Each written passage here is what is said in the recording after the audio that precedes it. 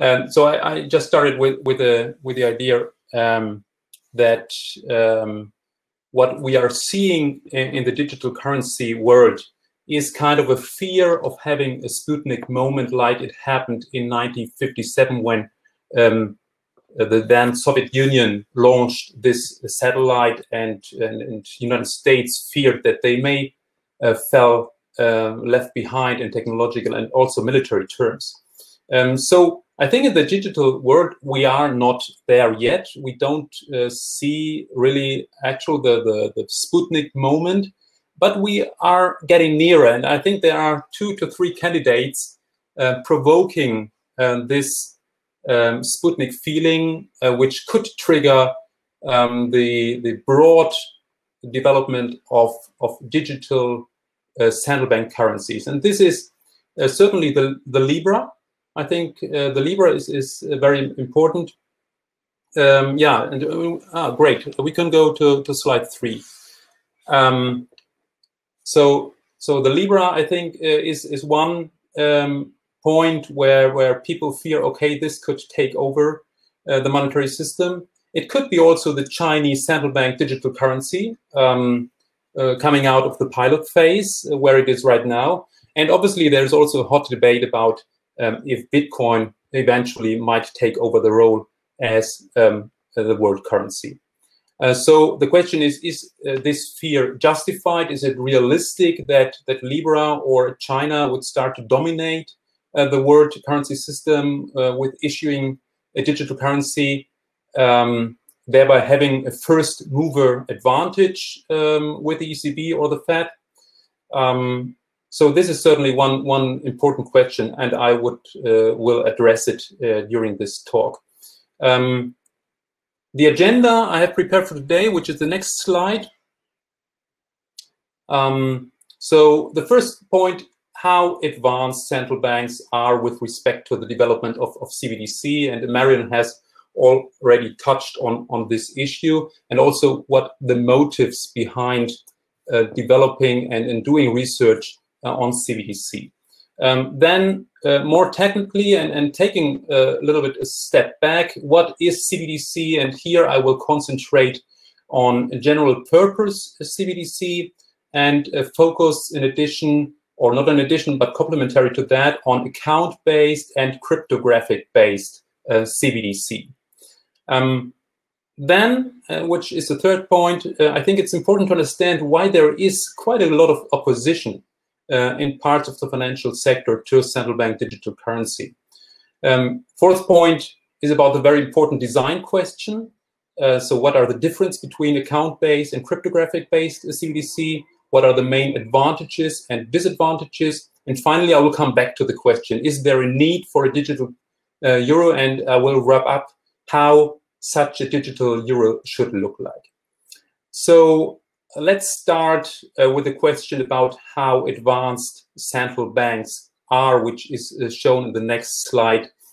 Um, so we know this is from the survey of the of the Bank of International Settlement, um, and we know from that that rather sooner than later, um, a couple of central banks might issue CBDC, uh, as Marion has already shown. Um, so around 20 percent uh, think that they will very likely uh, launch CBDC in one to six years. Now, the, the reasons for doing so and for doing research um, so uh, in, in, this area, they are quite numerous. And uh, this comes also from a survey from the, from the BIS, from the Bank of International Settlement, which is the next slide. Um, and um, Stefan, yeah, right, thanks. Um, so and what is quite interesting here is that it's the third part, it's that financial inclusion um, is very much high on the agenda of um, developing countries, while in advanced economies is not very much um, or not considered to be a big uh, problem. Uh, payment efficiency um, is even more important uh, for emerging markets. Um, and what is not included here in this survey is the point of monetary sovereignty, um, which could be a subject for countries uh, where um, uh, they fear to lose completely control um, of the payment system, especially in countries where cash uh, use is dwindling, like like it is in Sweden. Um, the idea of reducing infections of an uh, uh, of an epidemic um, was not included, obviously, because this survey was done last year. Um, so before diving deeper, um, let's sketch up and take a step back what central bank uh, digital currency is in comparison to other forms of money. Um, I think for this question, um, the by now already classical money flower, uh, which is designed by Bank of International Settlement, is rather useful. Um, so to explain it shortly, um, four criteria are here defined in the form of, of questions. So the first question is, is the, the currency widely accessible? And if it is uh, indeed the case, then the currency um, which uh, complies with this characteristic is included in the red ellipse. And if it is not, it is outside the red ellipse. Uh, is it digital? Is the other question. Is it token-based? And most importantly, is it issued issued by a central bank. And now, if it is issued by a central bank and, and it is digital, then obviously it is CBDC, it is central bank digital currency. Now, in addition to this, which is shown on the next slide, um, it is very useful to differentiate between a centralized and a distributed CBDC infrastructure, and as well to differentiate between an account-based or a token-based currency. So under the condition that it's the central bank which guarantees the value of the money. So otherwise we would not, not talk about CBDC. We would not talk about central bank digital currency. So under this condition, um, the first question, question is who writes the transactions into the ledger? And if it's a central validator who's doing this, then we have a centralized approach. If it is in, uh, instead a task that is delegated by the central bank to validators, then we would talk about a permissioned network of validators, and it's a um, distributed approach. So the other question um, is more technological. Is it account-based or token-based? And um, well, the account-based approach is very similar or very not very abstract because it is very similar to your account at a bank. Um, only that you have now direct access to central bank currency. Um, so what the bank, central bank needs in this case to do a transaction is your identity, the identity of the person um, or of the legal entity of the account to make this transaction. Um, by contrast, uh, in a token-based CBDC, um, a, um, a, transaction can only be fulfilled if the user demonstrates knowledge of an encrypted value. So before going more into detail with respect to the advantages and disadvantages of account-based versus token-based, Let's elaborate first uh, why there is among bankers and some central bankers too uh, quite a lot of opposition to CBDC.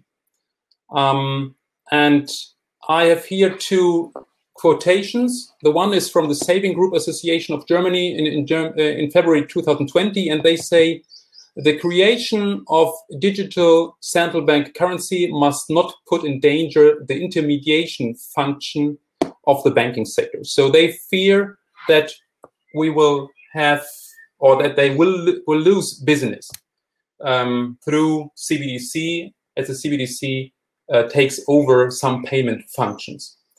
Uh, Jens Weidmann, the president of the Bundesbank, he um, said in January 2019, the biggest threat in terms of financial stability is the possibility of a digital bank run.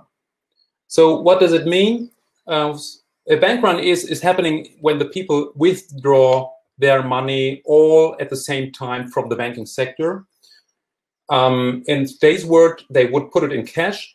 Um, but in a world with digital currency, with central bank digital currency, they would switch it to CBDC. Now, as you can do it by a mouse click, um, Weidmann obviously fears that this could be done if there is trouble in the banking sector. Um, interestingly enough, there is a, um, a way you can easily avoid this problem, and it's a proposal from the ECB itself, um, from Ulrich Bindseil, who is head of payments at the ECB. And he proposes a system where a certain amount of money on your central bank current account, so your CBDC account, uh, or it could also be a, a token um, ledger, um, is not charged by any fees. So up to, let's say, for example, up to 10,000 euro, you can have it there at uh, on the on your CBDC as CBDC without that any charge uh, is, is burdened on it. Um, so this money would be considered as a kind of transaction cash. And at the time you want to hold more than these 10,000 euro, you would have to pay some fee, or you can also say, alternatively, the central bank would get interest rate payments on the money um, that you are depositing with the central bank. Uh, so basically, these would be negative interest rates. Thus, it is not very attractive to deposit too much money with the central bank. Um, and in a time of crisis where people um, feel that there is stress in the banking sector and are about to flee the banking sector, um, the central bank could easily increase the fee on CBDC um, to, let's say, 50%, and people would obviously think twice before depositing their money with the central bank because they would lose money. Um, thus, I would say that the risk of a bank run, which uh, many pointed point so much out, is not a good argument against a digital euro. Um, this does not mean that bank runs cannot occur anymore, but they are not more risky than they are right now. Um, so now let's move to, to, to the design question account-based or token-based, centralized or distributed.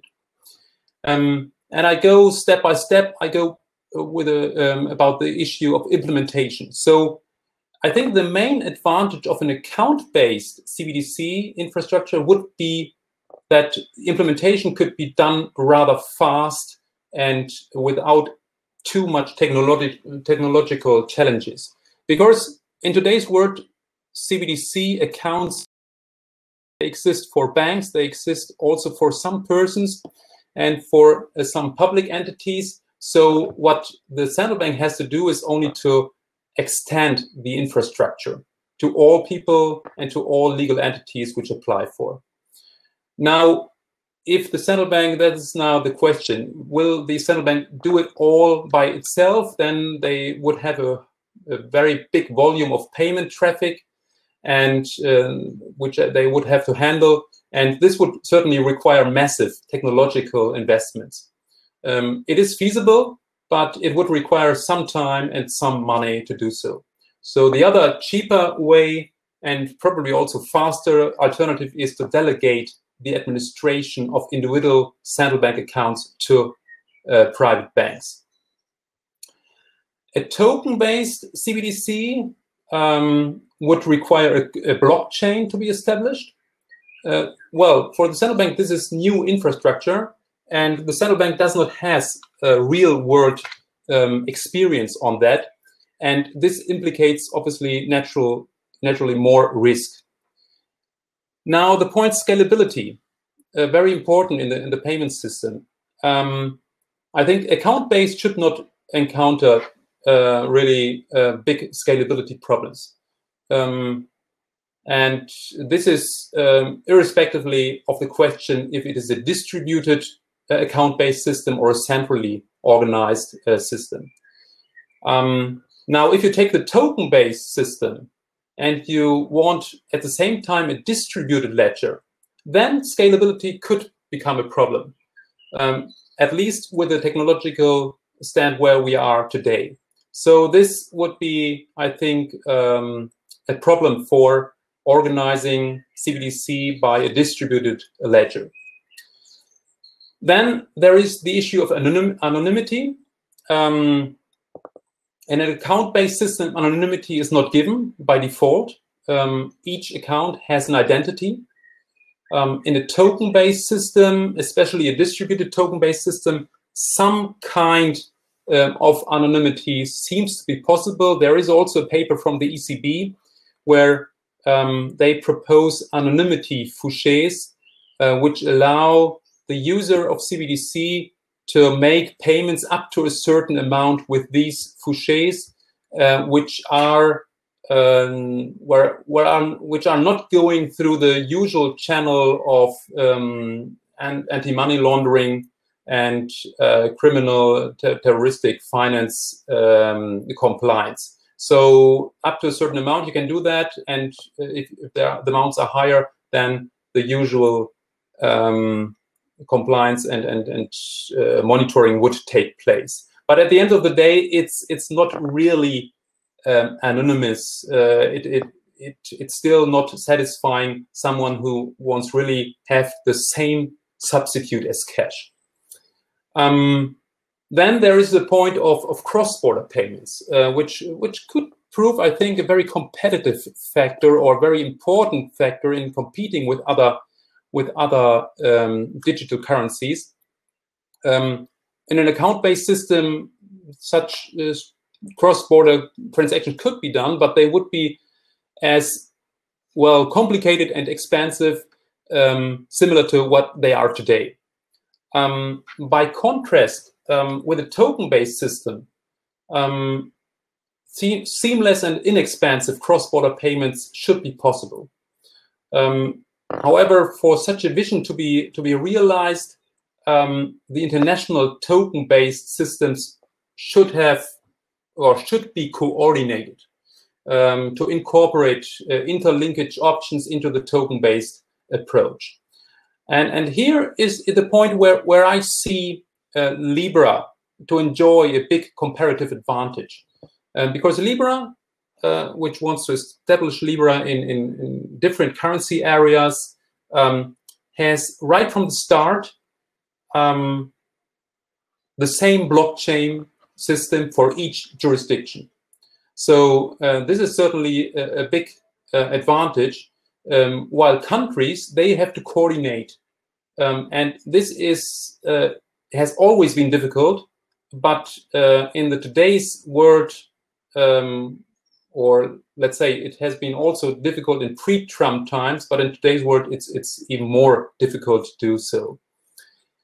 Um, what about China in this context? Um, China could also gain some advantage in this area um, if it, for example, requires from its uh, trading partners to establish the same standard of CBDC to enable cross-border payments.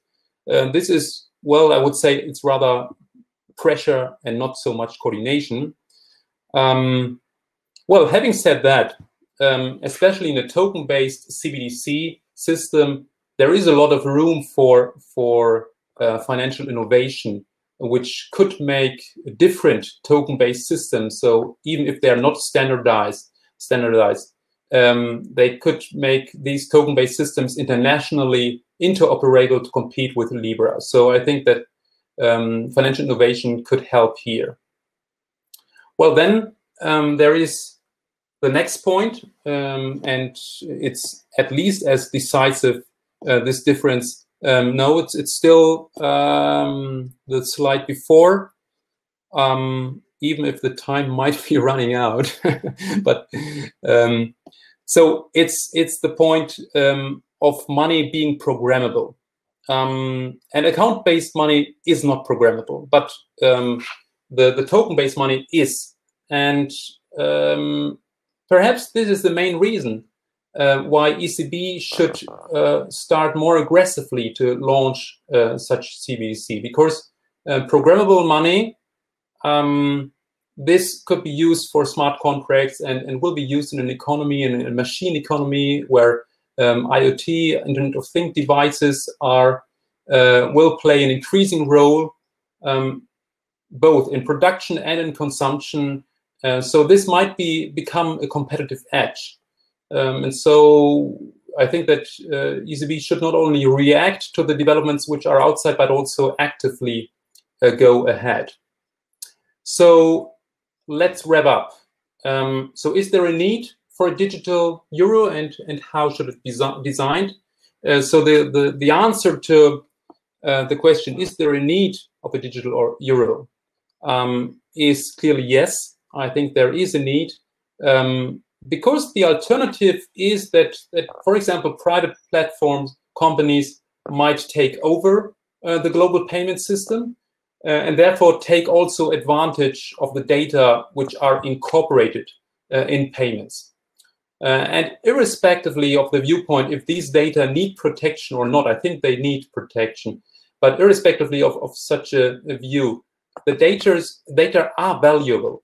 Um, and it does not look reasonable uh, to leave these data and also the profits uh, connected to them um, to private firms if sovereigns are able to get hold of these data and pro to protect their, their people and the data of the people. Is in this context the Chinese um, CBDC a threat to our monetary system? Um, perhaps, yes. Uh, the country could try to use its economic power uh, to require companies which are doing business with China to use uh, the Chinese CBDC standard, which would imply that that uh, related payments would go through this system. Um, in this case, um, you have again a data issue um, and also the issue of giving China China some power in the form of control of the international payment system. Um, well, similar to the power uh, the US has today uh, through the international settlement system, um, SWIFT. So what is the optimal design? Mm, here you can see the, the different um, alternatives um, which I have described. And I, I have now take, taken out four criteria. Scalability, um, is it programmable? What about anonymity and cross-border payments? Is it possible and, and how cheap or how expensive? And the conclusion of, of all the systems that exist and, and, and that could be possible, in my view, is that um, a central token-based, centralized token-based CBDC is indeed at the for the time being right now is the best option. And and that the ECB should go ahead with it because it is scalable, it is programmable, anonymity could be generated partly, and cross-border payments could be done quite easily. And so this would be all the four factors which, which, which would make um, this very competitive.